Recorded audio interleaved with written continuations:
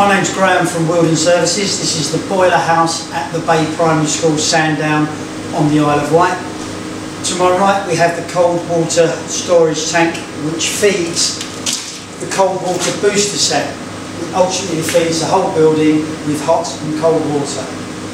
Behind me we have the BMS panel which was uh, demonstrated earlier to you, but down to the uh, right hand side at low level is the incoming water main with the main stopcock to isolate the building of all water services.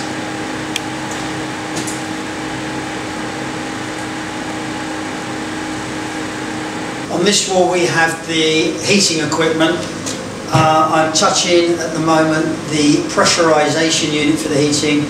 Joining that is the pressure vessel for the heating, which will connect up to the boilers. Other parts of the heating equipment include a strainer valve which is underneath this protective lagging box, a dosing pot to put chemicals for flushing and cleaning the heating system which should be carried out annually.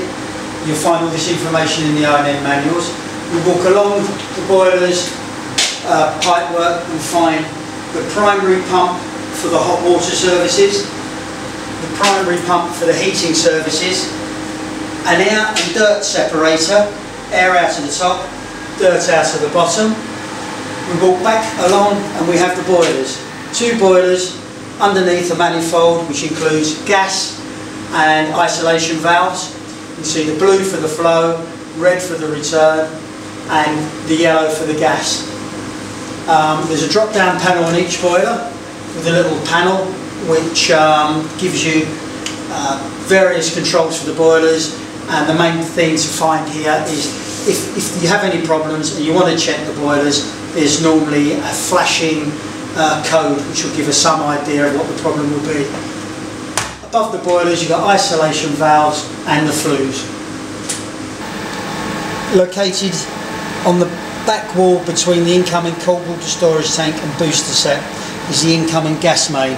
Um, here you'll find the main isolation valve to the gas for the whole of the building. It's a quarter of a turn shut down to this position here from uh, 12 o'clock to 3 o'clock. Um, here we have a typical underfloor heating manifold and pipework. Over to my right you've got the main flow and return pipework with isolation valve, a commissioning station which also acts as an isolation valve as well all the um, water has been set to design balancing uh, for the appropriate manifold.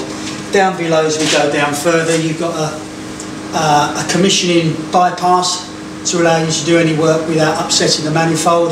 Above that we have two more isolation valves, a pump which controls the circuits of the manifold and the various zones. You can see the numbers from 1 to 8 in this instance these will all go round to various zones which are linked back to a control panel and a sensor controlled in here from the sensor via the pump and this stat here.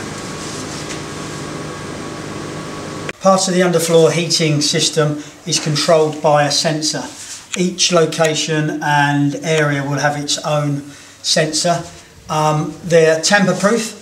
To get them off you prise the two little tabs on the side pull away and inside you have a, a stat um, which can be moved to what temperature. These are generally set at 19 degrees.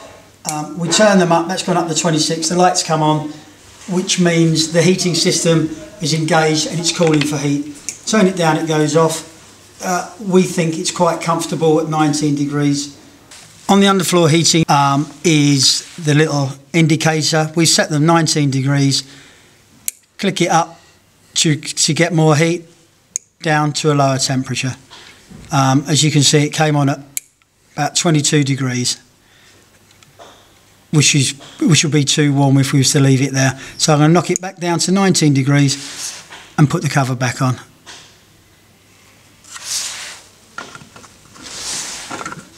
Push it in one side in the little tabs, just push your finger till it clicks and that's done. Back on.